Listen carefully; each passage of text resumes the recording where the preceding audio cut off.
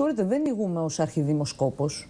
Ούτε μπαίνω στον αγώνα ε, και θεωρώ ότι οφείλουν να γίνουν οι αυτοδιοικητικές εκλογές είτε μία κάλπη αποσυμπίεσης της δυσαρέσκειας. Ισχυρίζομαι λοιπόν είτε όταν ήμουν μέλος ενός κόμματος που ήταν στο 4%, είτε τώρα στο 30% και όπως δείχνουν τα πράγματα θα βρεθεί στη διακυβέρνηση ε, της πατρίδας μας, ότι οι αυτοδιοικητικές εκλογές έχουν ένα χαρακτήρα πάρα πολύ σπουδαίο. Mm Συμφωνώ. Άρα, κύριε Ξενάκη, μπορεί και να μην διαφωνείτε με τον κύριο Ραβανό, ούτε με τον κύριο Κουρί, ούτε με μένα.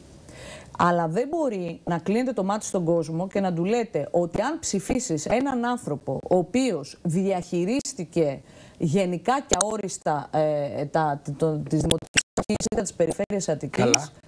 Ναι, λέω, αυτό μπορεί να το διαχειριστεί την Κύπρο. Εξηγούμε. Τι έκανε η απερχόμενη περιφερειακή διοίκηση; Φεύγουμε τώρα από το συγκεκριμένο. Πάμε στο, πάμε στο, δεν ήταν συγκεκριμένο. Πάμε στο δεν ήταν συγκεκριμένο αυτό ναι. που λέγατε. Προσπαθούσατε ναι. να τραβήξετε από τα μαλλιά και να εξάγετε κόντρα ε, στην.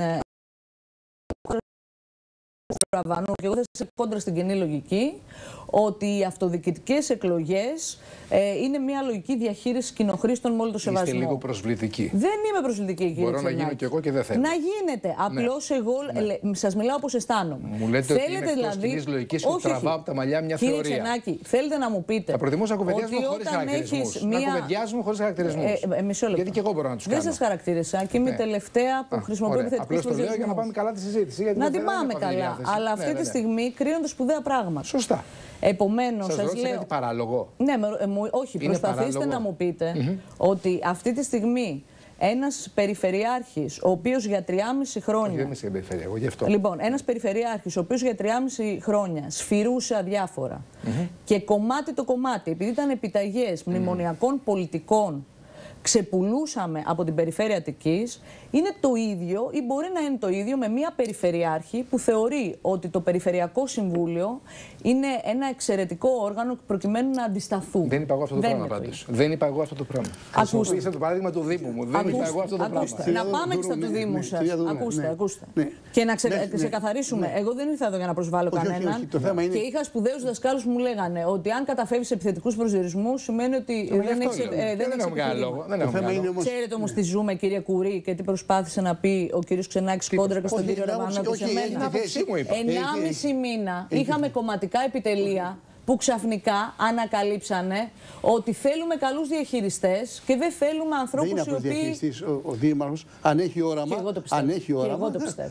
Το, λοιπόν, για το διαχειριστή έχει υπαλλήλους από τον κάμπο. Και τα έχουν βρασμένα τα κομματικά επιτελεία. Την άποψή μου σας λέω. Και εγώ το πιστεύω, κύριε Ξενάκη. Βρασμένα όλα τα λοιπόν, κομματικά επιτελεία για να μην χρησιμοποιήσω άλλη λέξη. Περάσαμε ναι. τουλάχιστον 1,5 μήνα να μπαινοβγαίνει κόσμος στο Μέγαρο Μαξίμου, να ψάχνει αυτοδιοικητικούς. Έχετε δίκιο, απόλυτο. Και τελικά να έχουμε μια κομματική επιλογή όπως είναι ο κύριος Κουμουτσάκης. Σωστό, δεν έχουν δώσει χρήσμα όμως. Λοιπόν, περάσαμε Άλλες υποψηφιότητες, οι οποίες λέγανε έφνης ότι εμείς δεν θέλουμε κανένα, καμία κομματική στήριξη. Και ας είναι από το 2002 ως το 2014, θα έλεγα και ο τελευταίος των Μοϊκανών των Πρασίνων του Πασόκ, όπως ο, ο απερχόμενος Περιφερειάρχης. Και υπάρχει μια υποκρισία εδώ. Και τα, τα προβλήματα έχουν χρώμα, έχουν ιδεολογία και οι λύσεις αντίστοιχα. Με ποιο σκεπτικό θα πάει ο πολίτης, πρέπει να πάει ή νομίζετε ότι στην Κάλπη δεν θα ψηφίσει μόνο για δήμαρχο. Ε, εγώ λέω λοιπόν. Προηγείται, εγώ πιστεύω. Εκεί διαφωνούμε το Σωτήρι. Για τη ζωή του.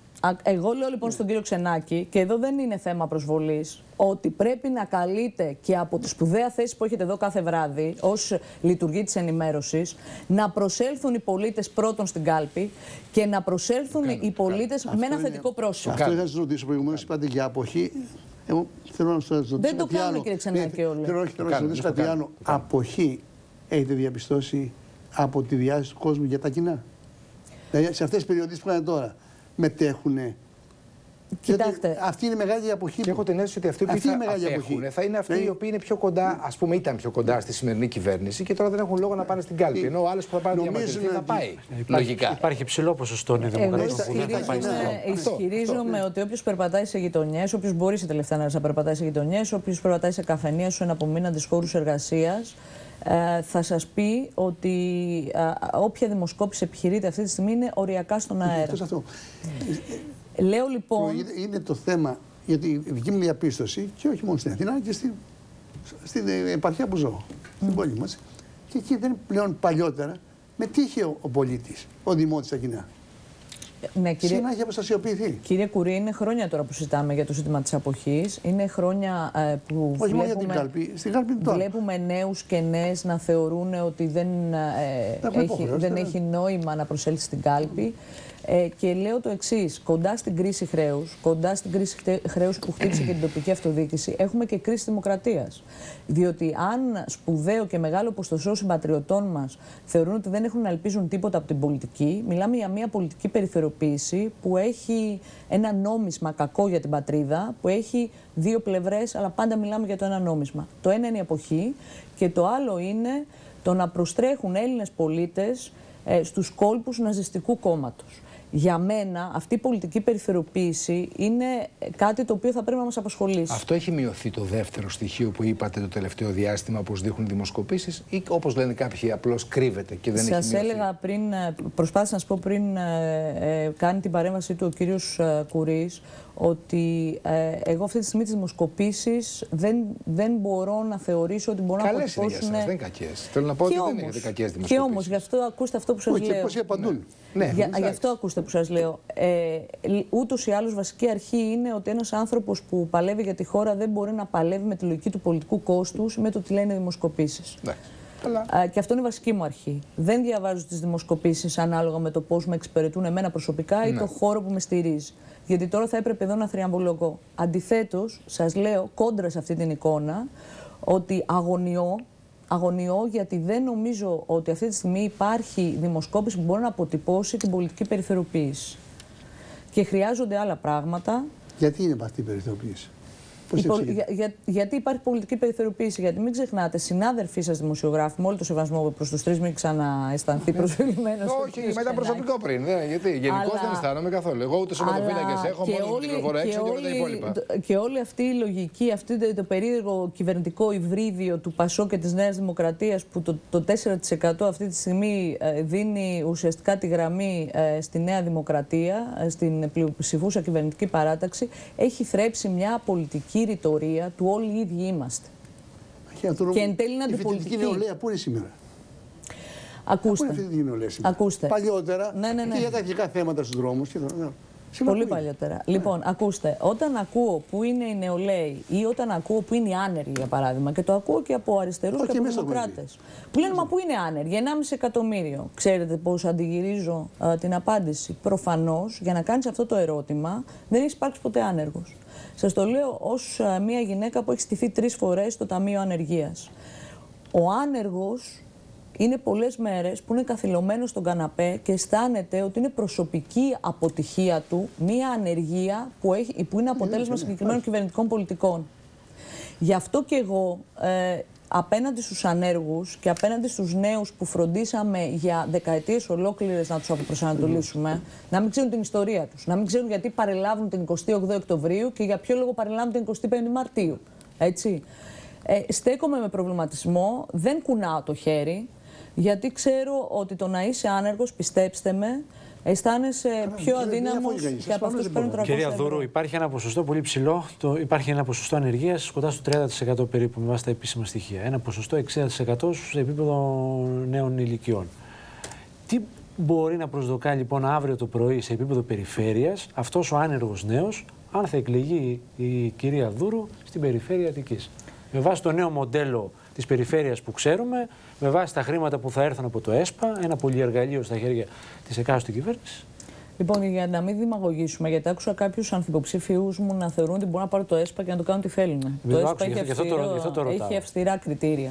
Ωστόσο, νομίζω ότι κάποιους ίδιους πόρους, ξέρετε, από αυτό το πλεόνασμα από τα 300 εκατομμύρια που είναι παρκαρισμένα. Το αμφισβητείτε αυτό το πλεόνασμα. Δεν αμφισβητώ το πλεόνασμα, αλλά αμφισβητώ ότι μπορούμε να μιλάμε με όρους αποθεματικού και πλεονάσματος, λες και πρόκειται για ιδιωτική επιχείρηση. Και ο κ. Κουμουτσάκος χρησιμοποιεί την ίδια επιχειρηματολογία ακριβώς για το πλεόνασμα του της περιφέρειας. Να σας πω την αλήθεια, αισθάνθηκα και μια ανακούφιση, γιατί για πάνω από 10 μέρες είχα μείνει μόνη μου να λιδωρούμε. Τώρα το χρησιμοποιεί, τον έχω ακούσει. Ναι, να λιδωρούμε, κύριε Ξενάκη, ότι έκανα προκλητική αντιπολίτευση όταν έλεγα για πλεόνασμα αδράνειας, ανικανότητες και αναποτελεσματικότητας. Αλλά έρθουμε στην ερώτηση του κ. Ραβανού γιατί ναι. τι πολλοί άνεργοι να γίνει για έναν άνεργο άνθρωπο. Κάθε τώρα κάποιος μας παρακολουθεί και λέει λοιπόν, τι θα κάνει δούρο αύριο το πρωί αν Κύριε Ραβανέ, από τους ιδίους πόρους ναι. περιφέρειας, έτσι από αυτούς που προφανώς θα είναι σε καμιά τράπεζα, δεν ξέρω που είναι, δεν θα είναι σε κανένα σερτάρι. Φαντάζομαι θα, και θα, θα τοκίζονται, ναι. και θα τοκίζονται, αλλά και από θεματικούς συγκεκριμένους άξονες του ΕΣΠΑ, ΣΕΣ ή νέο ΕΣΠΑ, να το λέμε για να το καταλαβαίνουν και όσοι μας ακούνε. Υπάρχουν χρήματα που μπορεί να καταπολεμηθεί η φτώχεια και η ανεργία και κύριε Ραβανέ, τι μας λείπει; Δεν μας λείπουν ε, πενταετή, ε, με τις πεντάμινες συμβάσεις, ομοιρίας, αυτές οι μη κυβερνητικές οργανώσεις ε, όπου έχουν εισβάλει σε όλους τους Δήμους και στην περιφέρεια Αττικής. Πρέπει να γίνουν μόνιμες θέσεις εργασίας. Λοιπόν, σας λέω... Μπορεί η περιφέρεια μπορεί. να δημιουργήσει μόνιμες θέσεις εργασίας; Μπορεί, μπορεί. Και τι, αν... τι αριθμός είναι αυτός; Μπορεί, κύριε Ραβανέ, αν ας πούμε αντί τα λεφτά να τα παρκάρουμε, προχωρήσουμε σε υποδομές για να πάρει τέλος πάντων και αυτή η λέξη και, ανάπτυξη. Μιλάμε, και κοινωνικές υποδομές. Και κοινωνικές υποδομές, γιατί να σου πω κάτι, όταν ναι. έχεις εξαθλειωμένο κόσμο, όταν έχεις γυναίκες άνεργες, μονογονεϊκές οικογένειες, ε, όταν ουσιαστικά το κράτος πρόνοιας έχει διαλυθεί, θα πρέπει αφενός να στηρίξεις και την ίδια στιγμή να προχωρήσεις σε έργα ανάπτυξης, τα οποία με συγχωρείτε, αλλά 3,5 χρόνια δεν τα είδαμε. Και λέω 3,5 χρόνια, γιατί του χαρίζω τα προηγούμενα. Από το 2002 ως το 2014 έχουμε έναν άνθρωπο ο οποίος βρίσκεται σε αυτόν τον ύψιστο θεσμό που παλαιότερα λεγόταν νομαρχία, υπερνομαρχία και τώρα περιφέρεια. Και όποιος μπει στον κόπο, ψάξει στο YouTube, θα δει μια μόνιμη προεκλογική εποδό που ξεχνιέται την επόμενη μέρα. Έχω πλεόνασμα, έχω αποθεματικό, ψηφίστε με. Αυτό το πλεόνασμα και αυτό το αποθεματικό πότε επιτέλους θα κεφαλοποιηθεί. Γιατί το στηρίζουν κάποιοι δήμαρχοι όμως τώρα με τέτοια. Με ακόμα και Ακόμα και ο Δημοκράτη. Είναι και το μεγάλο πρόβλημα και το μεγάλο πρόβλημα του κ. Κομοσάκου. Να πάω στο πιο. Σε άλλους Δήμου, πιο μεγάλους. Αυτό είναι ένα πρόβλημα. Και είναι ένα πρόβλημα, νομίζω, όπως ε, ξεκίνησαν τα κομματικά επιτελεία του Πασό και της Νέας Δημοκρατίας και διάφοροι σύμβουλοι επικοινωνίας ε, την κούρσα της προεκλογικής μάχης. Ε, αφού λοιπόν ο απερχόμενος Περιφερειάρχης δεν κατόρθωσε να πάρει το χρήσμα από το Μέγαρο Μαξίμου, αφού α, αντιλαμβάνεται ότι δεν έχει νόημα να πάρει το χρήσμα από ένα κόμμα του 4% που μπορεί να έχει αύριο άλλο όνομα. Ναι, ναι. Γεμίσαμε δέντρα από τάμια τον τελευταίο καιρό. Παίζουμε τις μουσικές καρέκλες, τα ίδια πρόσωπα ε, αλλάζουν κόμματα. Ε, προσέτρεξε στη λογική των δημάρχων.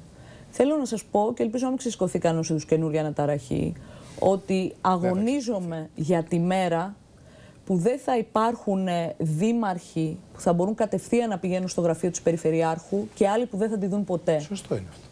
Αγωνίζομαι για τη μέρα που θα υπάρχουν. Που ε, διότι μπορούν να ενοχληθούν κάποιοι. Α, αγωνιώ, κύριε Ξενάκη, για τη μέρα που θα υπάρχουν δήμοι που δεν θα έχουν δει μόνο τον μπλε κάδο ανακύκλωσης. Εννοείται δηλαδή ότι υπάρχουν κάποιοι οι οποίοι έχουν ευνοηθεί και κάποιοι άλλοι που δεν Ξέρετε, έχουν. Ξέρετε, διαβάζοντας τώρα τα διάφορα πρακτικά από τη συνεδριάση του Περιφερειακού Συμβουλίου, έβλεπα τα ίδια, αν θέλετε, έργα, τις ίδιες μελέτες να κόβονται για, τον, για το Δήμο του κύριου Ραβανού και να υλοποιούνται σε άλλους Δήμους. Εντάξει, το ήταν σαφές αυτό που λέτε. Λοιπόν, σας λέω. Και το ευχαριστώ των Δημάρχων τώρα αυτό. Σας λέω λοιπόν ότι να αφήσουμε πίσω τι έχει γίνει.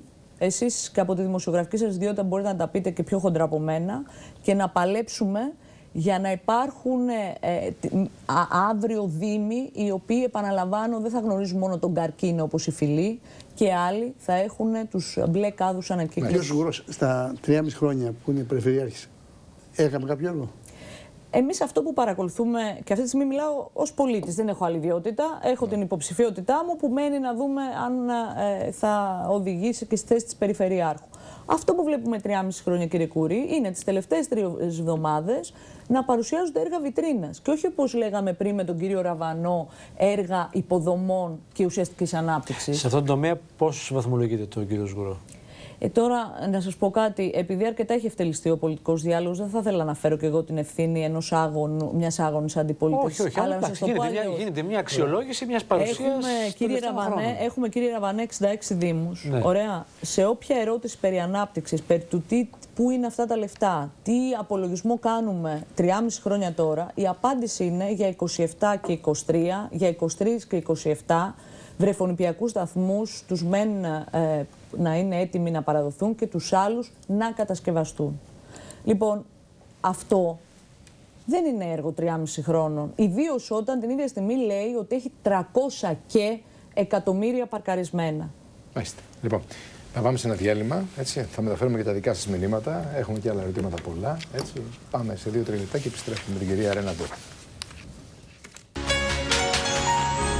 στο τηλεφωνικό κέντρο. Δεν πάω να τα διαβάσω όλα. Ε, υπάρχει μεγάλη τηλεθέαση. Τρία-τέσσερα θα διαβάσω. Έχει τελειώσει και ο Ολυμπιακός. Λοιπόν, ρωτάει μια φίλη, δύο φίλοι μάλλον ρωτάνε για το θέμα αυτό με μεγάλη έμφαση. Είμαι 50 χρονών και έχω τρία παιδιά άνεργα.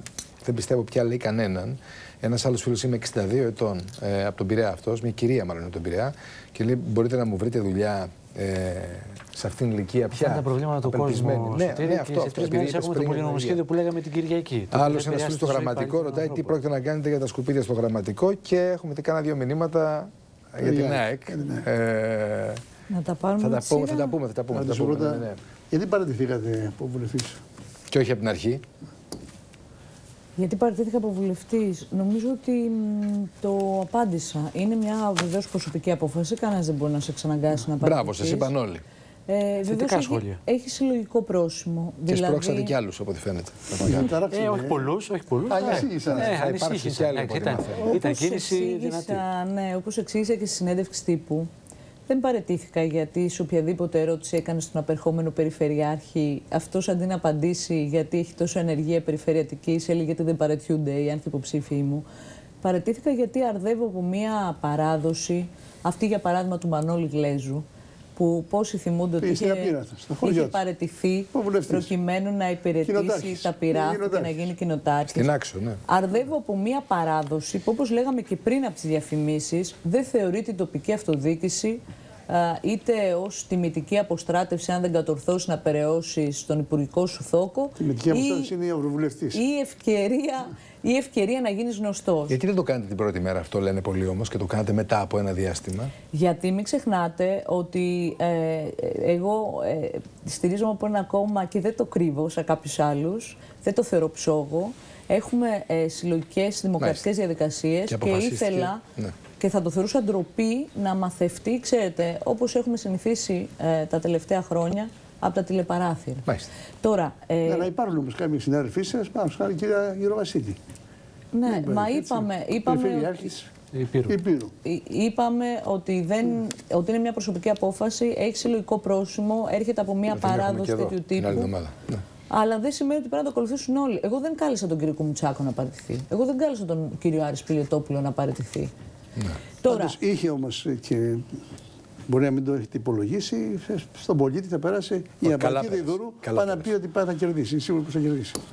Θετικά πέρασε. Ε, να σας πω κάτι. Τι λέγαμε εντάξει, και στο... Κάποιοι είπαν εντάξει, θα έρθουν εθνικές εκλογές, θα βγει ξανά βουλευτή και με τα τσαρούχια πια γιατί θα έχει αυτό. Καλά, δεν ξέρει κανένας πότε θα είναι εθνικές εκλογές Εγώ να, πω και, να κάνω και τον κακό εγώ, αφού δεν πειράζει. Α κάνω εγώ τον κακό σήμερα. Α κάνω εγώ τον κακό, τον κακό τον κάνει ο Μάκη, θα τον κάνω σήμερα εγώ. Κύριε Ξενάκη, διάβασα και άλλα στο Facebook. Διάβασα παράδειγμα ότι παρετήθηκα γιατί δεν τα πάω καλά στις δημοσκοπήσεις και πάει λέγοντας. Ε, όχι, δημοσκοπήσεις καλές είναι. Όποιος το γράφει αυτό δεν τις είδε. Όχι, μάλιστα το πει συνάδελφο.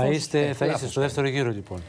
Με αντίπαλο με αντίπαλο. Ε, κύριε Ραβανέ, θέλω να σας πω κάτι.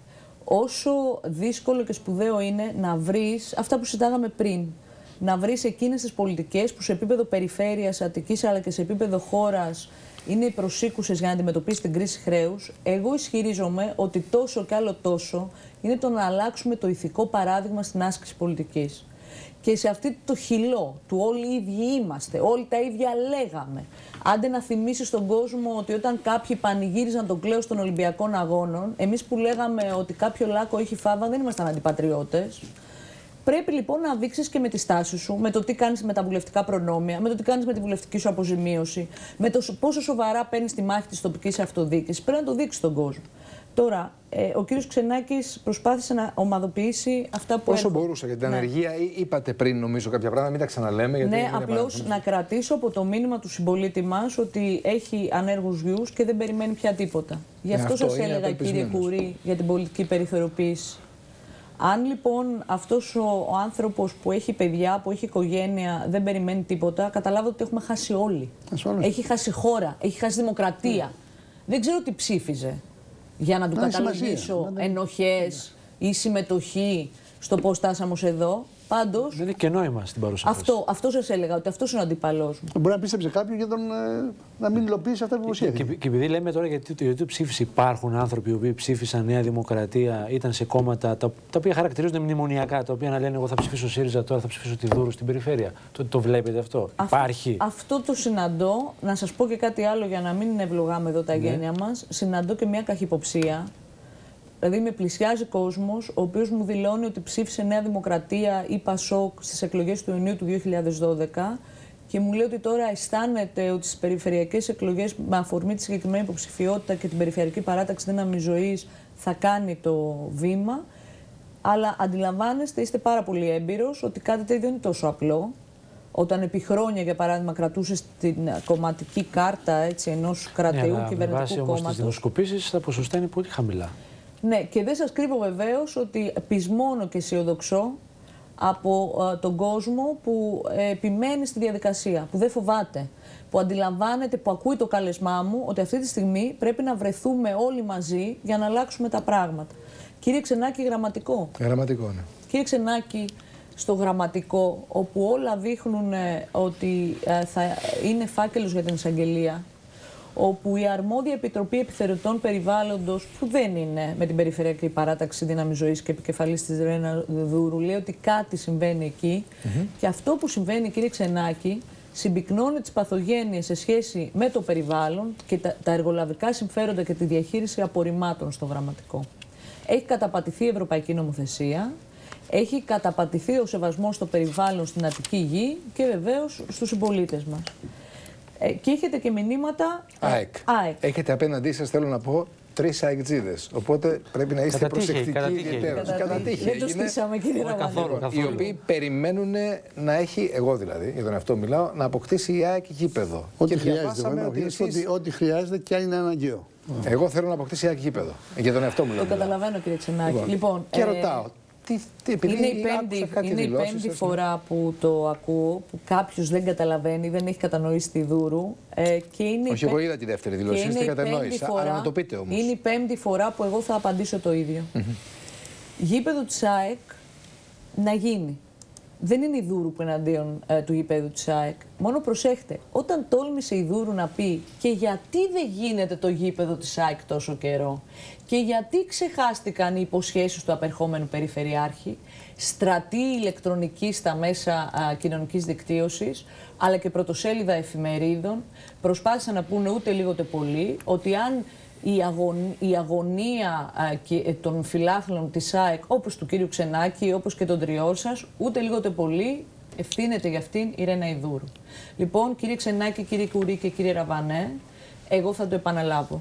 Το γήπεδο της ΑΕΚ πρέπει να γίνει, αλλά θα πρέπει να προσέξουν οι οπαδοί και φίλαθλοι της ΑΕΚ να μην είναι για άλλη μια φορά μια τεράστια δεξαμενή ψηφοφόρων που θα οδηγηθεί προς τον τάδε υποψήφιο και όχι προς τον Δίνα. Το έχουμε δει, το έχουμε δει με άλλες ομάδες και ξέρετε γιατί είμαι τόσο ψύχρεμη και αποφασισμένη. Γιατί μία φορά μπορεί να πιάσει. Δεύτερη φορά δεν πιάνει. Κάποια, κάποιοι σύμβουλοι και κάποιοι σύμβουλοι επικοινωνίας και διαφημιστές τους είπανε στο παρελθόν για το γήπεδο του Παναθηναϊκού που δεν έγινε. Και γι' αυτό μου είπα να σας ρωτήσω Ναι. πριν έρθουμε μέσα. Με ρώτησε κάποιος να παίρνω ερωτήσεις για τον Παναθηναϊκό. μου λέει. Όχι μόνο για την Κατορθώσαμε, ΑΕΚ. κατορθώσαμε να ρίξουμε τις ευθύνες σε κορμοράνους, έτσι, και στον τότε ΣΥΡΙΖΑ του 3%. Ξέρουμε σήμερα ότι ούτε ο Κορμοράνος έφταιγε, ούτε ο ΣΥΡΙΖΑ του 3%. Ε, λοιπόν, σας λέω, πηγαίνοντας αρκετές φορές στη Νέα Φιλαδέλφια, ότι ο κόσμος έχει καταλάβει καλά με ποιον θα φτιάξει γήπεδο και ποιος θα συνεχίσει να τον κοροϊδεύει. Μάλιστα. Εμείς Δεν τα έχετε σκουπίδια. αντιρρήσεις πάντως, από ό,τι Τελικά κατάλαβα. τα σκουπίδια πού θα πάνε; Λοιπόν, ε, θέλω να σας καλέσω κύριε Κουρί την επόμενη εβδομάδα, όπου θα δώσουμε μια συνέντευξη τύπου ακριβώς για αυτό το θέμα, για τη διαχείριση απορριμμάτων. Γιατί όπως δεν κάνω βήμα πίσω για το γήπεδο της ΑΕΚ, έτσι δεν κάνω βήμα πίσω για την περιβόητη ρίση που λιδωρήθηκε και δημιούργησε τρομερές αντιδράσεις από μέρους συγκεκριμένων δημοσιογράφων σε σχέση με το τι σημαίνει μνημονιακή διαχείριση των απορριμμάτων και αντιμνημονιακή Για διαχείριση εξηγήστε των μας λίγο αυτό, είναι απορριμμάτων. ευκαιρία τώρα. Γιατί έγινε μεγάλη συζήτηση Και με αυτό. επίσης, αν- Αχώς, αν και τα που είναι σκουπίδια- αυτός, κύριε και Ραβανέ. αν τα σκουπίδια Πανικός. έχουν πολλά λεφτά. Αυτό. Εγώ λοιπόν κύριε Κουρί, κύριε Ραβανέ και κύριε Ξενάκη, μέχρι τις 18 Μαΐου θα συνεχίζω να λέω ότι ε, δεν τα μαζεύουμε με τον ίδιο τρόπο τα σκουπίδια. και αυτό το ξέρουν καλά οι κάτοικοι στη φυλή. Το μάθανε με την καλή και την ανάποδη και με, με καταστολή τρομερή οι κάτοικοι στην Κερατέα. Το ξέρουν οι κάτοικοι στο γραμματικό. Ακόμα και ένας υποψήφιος δήμαρχος σαν τον κύριο Μπουτάρη, που δεν είναι ΣΥΡΙΖΑ, που από ό,τι καταλαβαίνω το μνημόνιο δεν του ε, κάνει και πρόβλημα, δυσφόρησε πριν λίγο χρονικό διάστημα για τον κύριο Φούχτελ, για τον τρόπο που περιοδεύει στην πατρίδα μας. Δεν ξέρουμε από ποιον εντέλεται, που πάει και βλέπει δημάρχους. Και εκεί καταλαβαίνουμε τη σπουδαιότητα της τοπικής αυτοδιοίκησης και πώς οι πολιτικές της κυβέρνησης χρειάζονται οι μάντες για να υλοποιηθούν. Και εδώ θα δούμε αν έχουμε πρόθυμους δημάρχους να υλοποιήσουν τις επιταγές του Φούχτελ και της κυρίας Μέρκελ και όχι. Άρα, κύριε Ραβανέ, θα το επαναλαμβάνω και κάποιοι ας κάνουν ότι δεν καταλαβαίνουν. Υπάρχει διαφορετικός τρόπος, ο εργολαβικός να μαζεύει τα σκουπίδια, και υπάρχει ο τρόπος για τον οποίο παλεύουμε μέσα στο Περιφερειακό Συμβούλιο κάτοικοι και επιτροπές και κινήματα. Και την επόμενη εβδομάδα εύχομαι να είστε και τρεις όταν θα παρουσιάσουμε τη δική μας πρόταση. Ο κύριος Φούχτελ περιοδεύει την επικράτεια, είναι ενταλμένος της γερμανικής κυβέρνησης. Συνομιλεί, συνομιλεί με δημάρχου, με περιφερειάρχες. Προφανώς. Προφανώς. Υπάρχουν συγκεκριμένοι. Ο κύριος Στατούλης στην Πελοπόννησο και άλλοι ε, φίλτατοι δεξιά και αριστερά. Με Ρένα Δούρου Περιφερειάρχη θα έχει ανοιχτεί την πόρτα ο Φούχτελ ε, στην περιφέρεια; Δεν νομίζω ότι θα προσέλθει κανένας, κύριε Ραβανέ, ε, στις κάλπες ε, με το ψηφοδέλτιο της δύναμη ζωής και επικεφαλής της Ρένα Τιδούρου για να δει τον κύριο Φούχτελ να ανεβοκατεβαίνει τους ορόφους των γραφείων της περιφέρειας. Και κλείστε την κάνει... πόρτα, άμα θέλει να έρθει, του κλείσει την πόρτα; Είναι σίγουρο πάντως ότι όσοι. Δεν θα θέλει να έρθει. Είναι σίγουρο πάντως όσοι θα προσέλθουμε στην κάρπη με το δικό μας ψηφοδέλτιο δεν θα ε, περιμένουν από μένα να τον κερνάω, όπως το λέει ο κ. Μπουτάρης, ούζο και να κοκκινίζουν παραπάνω ρωτήσω, τα μαγουλά. Να σας ρωτήσω, επειδή δεν έχουμε πολύ χρόνο, να σας ρωτήσω ένα ερώτημα. Έρχονται κι άλλα. Ναι. ναι, έρχονται κι άλλα. Θα κοιτάξουμε πώς μπορούμε να προλάβουμε. Να ρωτήσω κάτι θέλω εγώ. Εσείς, όπως δείχνουν οι δημοσκοπήσει, αν τις πιστέψουμε, θα είστε στο δεύτερο γύρο. Ε, με ποιον βλέπετε να είστε στο δεύτερο γύρο; Σας είπα ο και... κύριος Γουρός ακόμα δεν έχει ανακοινώσει επίσημα υποψηφιότητα. Υποψήφιος είναι. Ναι, το ξέρω. Δεν είναι. Ναι, θα είναι και την άλλη εβδομάδα, τον έχουμε εδώ, νομίζω. Ναι, Ξέρεις όμως είναι ένα παιχνίδι. Δευτέρα, Τρίτη θα είναι εδώ. Ναι, αλλά καλά κάνει, καλά κάνει και το υπογραμμίζει ο κ. Ξενάκη. Καλά κάνει. Καλά κάνει και το υπογραμμίζει ο κ. Ξενάκη, γιατί ξέρετε και ο τρόπος με τον οποίο παρουσιάζει εν τέλει στους πολίτες δείχνει πολλά για να χειριστεί μείζωνα ζητήματα. Λοιπόν, εσείς ποιον βλέπετε στο δεύτερο γύρο μαζί και αν έχετε καμιά προτίμηση; Σε αντίπαλο. Όπως σας είπα, προτίμηση δεν έχω ε, και δεν έχω, επαναλαμβάνω, όχι από βορφροσύνη. Υπάρχουν πράγματα που με τρομάζουν και αυτό δεν είναι η υποψηφιότητα του κύριου Γουρού ή η υποψηφιότητα του κύριου Κουμουτσάκου. Ναι. Με τρομάζει το ότι το 2014, μετά από 3,5 χρόνια της περιβόητης μεταρρύθμισης του Καλλικράτη και της ύπαρξης της περιφέρειας, οι πολίτες αγνοούν τη σπουδαιότητά της. Και με τρομάζει, κύριε Ξενάκη, αν δεν συμβάλλω κι εγώ ώστε πολλοί συμπολίτες μου να μην απέχουν εκείνο το Σαββατοκύριακο ή αν προσέλθουν στις κάλπες. Δεν σας νοιάζει λοιπόν ποιον θα έχετε να... απέναντι; Όχι, και δεν θέλετε να πείτε όχι. και ποιον βλέπετε ότι θα έχετε, αν καταλαβαίνω Θέλω καλά. να είμαι σοβαρή και σας το... λέω ότι αυτό που καταλαβαίνω στις γειτονιές, κύριε Ξενάκη, ναι. ε, είναι ότι οι δημοσκοπήσεις που ως την ώρα έχουν παρουσιαστεί πόρο απέχουν από την πραγματικότητα. Δηλαδή; Θυμάστε, η πρώτη δημοσκόπηση μέτραγε ε, τον κύριο Γεωργιάδη, τον κύριο Σγουρό, τον κύριο Παχατουρίδη, Καλά, εμένα ναι. κτλ. Η δεύτερη δημοσκόπηση μέτραγε πάλι σε μια λογική που λέει ότι έχουμε τον απερχόμενο περιφερειάρχη που δεν μας λέει τι θα κάνει. Και έχει περάσει ένα μισή μήνα. Ναι. Που μια ε, προσπαθεί να βρεθεί ε, με, την, ε, με το χρήσμα της κυβερνώσεως παράδειξης Νέας Δημοκρατίας, μια με τους δημάρχους, μια ανεξάρτητος και ας το λάβουν υπόψη τους αυτό οι πολίτες. Διότι δεν είναι απλά θέμα διαδικασίας καταδεικνύει πολλά για τον τρόπο με τον οποίο ε, κάποιος λειτουργεί το στην Το δίλημα των εκλογών θα είναι μνημόνιο αντιμνημόνιο και των αυτοδιοικητικών. Αφήστε τις ευρωεκλογές. Κύριε είναι Ραβανέ, είναι άλλη αναμέτρηση άλλου. Τι λέγαμε πριν για τα σκουπίδια, επιχειρούν κάποιοι. Μα γι' αυτό θέλω να το ναι. συνδέσουμε αυτό που λέγατε για τα σκουπίδια. Ωραία, πολύ ωραία. Ε, επιχειρούν κάποιοι να μας πούνε ότι το, το μνημόνιο αντιμνημόνιο είναι πασέ, είναι κλισέ, δεν υφίσταται. Σας είπα και πριν τις διαφημίσεις ότι δεν μπορούμε να κάνουμε πλάκα με αυτό. Δεν ήταν το ίδιο η περιφέρεια Αττικής πριν το μνημόνιο και το ίδιο μετά. Το μνημόνιο είναι εδώ. Δυστυχώς θα είναι ε, και μετά το Μάιο εδώ, ό,τι και να λέει ο κύριος Τουρνάρα. Και εγώ λέω ότι απέναντι στο μνημόνιο όμως θα πρέπει να παραταχθούμε με πρότασεις, πρόγραμμα και πολιτική βούληση. Γιατί κύριε Ραβανέ, έχουμε όψιμους αντιμνημονιακούς. Όπως; Από την κυβέρνηση. Ε, δεν μπορεί να μετανιώσανε κάποιοι. Να, είδανε, ναι. να είπαν ότι τελικά κάναμε λάθος. Απλώς να μην. Να είπαμε ρε παιδί μου ότι κάναμε λάθος εκτίμηση τότε. Έχετε κάποιο παράδειγμα κάποιου που ζήτησε συγγνώμη. Α, εννοείται για τους πολιτικούς. Εγώ τώρα μιλάω για πολίτες. Οι οποίοι να είπαν ότι. Όχι, για όνομα του Θεού. Σας το είπα και με τους πολίτες. Με τους πολίτες δεν έχω χωρούσουμε τίποτα. Να είπαν ότι κάναμε λάθος. Απλώς καλό τους πολίτες να μην πιστέψουν και ξαναπατηθούν εκ νέου από όψιμες αντιμνημονιακές δυνάμεις που πριν από λίγο καιρό πιστεύαν ότι το μνημόνιο είναι ευλογία και όσους για παράδειγμα λέγαμε το μνημόνιο δεν είναι ευλογία, μας λέγανε δημαγούς και λαϊκιστές. Και το χειρότερο, το μνημόνιο δεν αντιπαλεύεται με ναζισμό. Μάλιστα. Κάτι ακόμα. Στις δημοσκοπήσεις δεν βλέπουμε να έχει τον αέρα ο ΣΥΡΙΖΑ στις εθνικές εκλογές. Στην Αυτό τον αέρα, εσείς τον βλέπετε στην περιφέρεια; Εγώ κρατάω... Ότι υπάρχει διαφορετικός αέρας ή το ίδιο και εκεί υπάρχει Εγώ, ένα κούμπομα; Κύριε Κουρί, κρατάω ε, κάποιες ημερομηνίες. Ήταν ε, αρχές Απρίλη, αν δεν θυμάμαι καλά, ήταν 9 Απριλίου του 2012, όπου η δημοσκόπηση έδειχνε την αντιπολίτευση να πηγαίνει με ένα 6-8%. Αυτό τώρα γιατί το λέω; Δεν θέλω να απαξιώσω την ερευνητική δραστηριότητα και δημοσιογράφων και αναλυτών. Επαναλαμβάνω όμως ότι αλλοί από τα κόμματα, τους φορείς, τα κινήματα που πηγαίνουν με τη δημοσκόπηση στο χέρι. Αλλά δεν φαίνεται και στην κοινωνία ο αέρας αυτός. Να φουσκώει τα πανιά του ΣΥΡΙΖΑ. Εγώ σας έδωσα αυτό το παράδειγμα για να σας πω. στην άκρη της δημοσκοπήση. Για να σας πω. Αν δεν το βλέπεις ότι αμέσως ε, τον ρωτάς να σκουμπώνεται ο πολίτη. Να δω το ένα, το άλλο, τι θα κάνει η πολυφωνία που υπάρχει. Κοιτάξτε, από τότε που γεννήθηκα εγώ, από το 1974 στα σήμερα, είχαμε τα δύο μεγάλα κόμματα να έχουν εξαπατήσει τόσες όσες φορές του πολίτες. Δεν περάσατε ποτέ εσείς από το Πασόκ, γιατί έχω ένα δύο μηνύματα που λέει ήταν Πασόκ λέει, και μετά ΣΥΡΙΖΑ. Όχι, δεν ήσταν ποτέ Πασόκ, έτσι όχι, δεν είναι; Ήμουνα από εκείνη την ομάδα παιδιών που φτιάξαμε την νεολαία συνασπισμού. Μάλιστα, τώρα. Απαντήσατε γιατί έχω ένα δύο μηνύματα γι' αυτό. Δεν θα σταματήσουν, κύριε Ξενάκη. Ε, ρωτάνε οι άνθρωποι. Δεν θα σταματήσουν.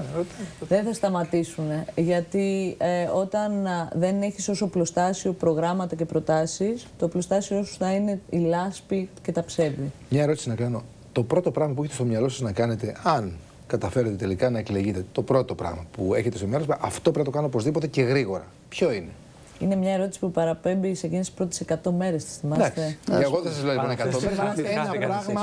Όχι, χάθηκε η βαλίτσα. Χάθηκε η Εγώ τις θυμάμαι. Εσείς πώς τις θυμάστε, μικρή. Τις θυμάστε, εγώ μεγάλος και τις θυμάμαι. Λοιπόν, λοιπόν. Ε, εγώ λέω το εξής. Ναι, ένα πράγμα. Η ίδια η πραγματικότητα με οδηγεί ε, στο να έχουμε προτεραιότητα αυτό που λέγαμε και πριν με τον κύριο ε, Ραβανό, ανεργία, κοινωνικές υποδομές.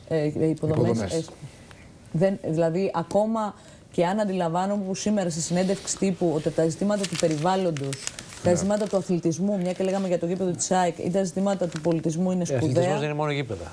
Ακριβώς, κύριε Ραβανέ.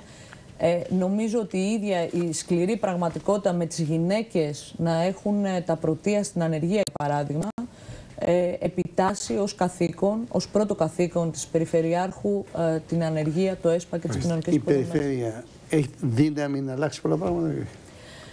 Αν κατορθώσουμε να ξεκινήσουμε, να αρχίσουμε τις αλλαγές από την περιφέρεια Αττικής, μας έλεγε στο διάλειμμα ο κ. Ξενάκης ότι θα μπορώ να λέω ότι αρχίζουμε τις αλλαγές στη μισή πατρίδα. Και αυτό θα ναι, είναι μισή Ελλάδα. Αυτό, είναι, αυτό είναι η μισή Ελλάδα. Λοιπόν, δεν έχουμε άλλο χρόνο. Πιστεύω να Παρόλο που έρχονται ερωτήσεις. Θα σα ξανά και για την για όλους μας. Ελπίζουμε να σας ξανά έχουμε σύντομα κάποια στιγμή στην προεκλογική περίοδο. Με χαρά μας, να τα ξαναπούμε, να ξαναδιαφωνήσουμε. Έτσι. Λοιπόν, ευχαριστούμε πάρα πολύ την κυρία Ρένα Δούλου που ήταν μαζί μας. Θα πούμε την άλλη εβδομάδα ο κ. Γουρός νιώσει υποψηφιότητα ως τότε. Δεν το ξέρουμε. Ναι, δεν το ξέρουμε. Λοιπόν, ε, ευχαριστούμε πολύ για την Άρτη Ραβανό. Ευχαριστώ και εγώ πάρα πολύ. Και να προσέξετε την περιφερειά άρχισά μου την επόμενη εβδομάδα. Έτσι, την Όλγα Γεροβασίλη.